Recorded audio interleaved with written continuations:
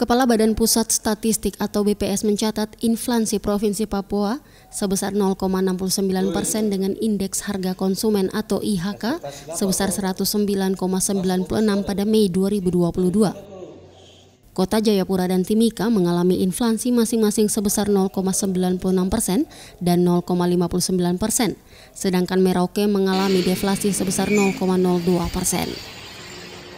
Inflasi di Kota Jayapura dan Timika disebabkan karena adanya kenaikan harga akibat bertambahnya indeks pengeluaran pada kelompok makanan, minuman, dan tembakau sebesar 0,57 persen, serta kelompok pakaian dan alas kaki sebesar 0,01 persen.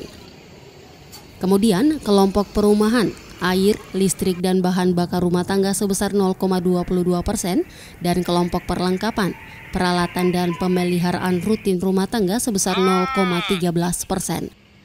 Kelompok kesehatan sebesar 0,53 persen, kelompok transportasi sebesar 1,65 persen, kelompok penyedia makanan dan minuman atau restoran sebesar 0,27 persen, dan kelompok perawatan pribadi dan jasa lainnya sebesar 3,49 persen.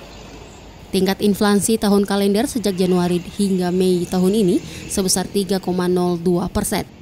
Dan tingkat inflasi tahun ke tahun pada Mei 2022 terhadap Mei 2021 sebesar 4,75 persen. Sementara untuk bahan makanan pada Mei 2022 mengalami inflasi sebesar 0,73 persen. Tingkat inflasi bahan makanan tahun kalender Januari hingga Mei 2022 sebesar 5,59 persen. Inflasi terjadi sebesar 0,69 persen. Dengan angka inflasi tersebut, maka inflasi tahun kalender 2022 sebesar 3,02 persen. Sementara inflasi tahunan yaitu inflasi Mei 2022 terhadap Mei 2021 sebesar 4,75 Pada Mei 2022, timika mengalami inflasi sebesar 0,59 persen. Tim Liputan Papua Channel